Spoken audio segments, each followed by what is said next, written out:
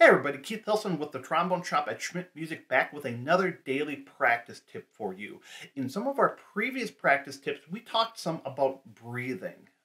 The whole idea here is we need to be putting the right kind of air into our embouchure, our mouthpiece, to create the vibration and thus creating the vibration through the instrument. So the breathing is a big part of this, but ultimately we need to create music with this sound, right? So how do we do this? How do we work on this? One great way to think about this is with long tones. The way I think about long tones is that we're, all we're worried about is taking air and turning it into song. Um, I'm certainly not the first to think of it like that, um, but that's always my approach. So right away, I'm taking these breathing concepts, these three-dimensional expansion breaths, and trying to create on my instrument just very, very beautiful sounds. I'm not worried about technique. I'm not worried about scales. I'm not worried about range everything right away. I'm just worried about creating a beautiful sound. Long tones are a great way to do this. Long tones are just a note that we hold for a long period of time. And there's a lot of different ways that we can work on our long tones, different ways we can structure it, but a great way to start off is just by playing, for example, a middle F on your scale. So on trombone, this is going to be a middle F in your uh, fourth line of your bass clef staff. For tuba players, this is going to be your middle F, which is going to be the bottom of the bass clef staff.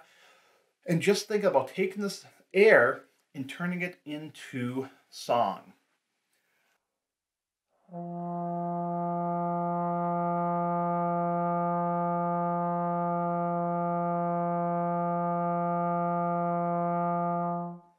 When I'm doing this, all I'm thinking about is inhalation, exhalation, and trying to make the best sound I can with every note that I play.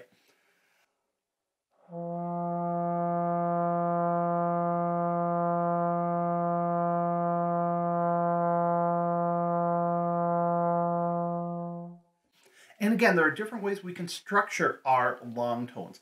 We can take something as simple as a scale.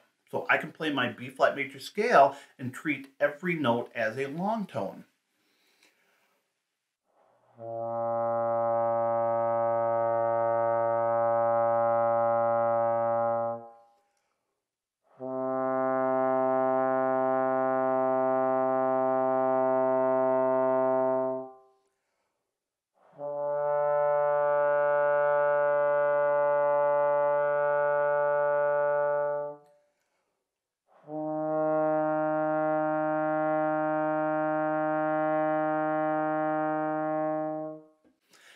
And you can do it any number of different ways. We may talk about some other long tone ideas, but again, the big concept is just taking this air, trying to translate it into the best, most beautiful sound that we can. So today, I would encourage you in your practice routine, try a few long tones. Take your B flat major scale and play each of those notes as a long tone and just think about that sound.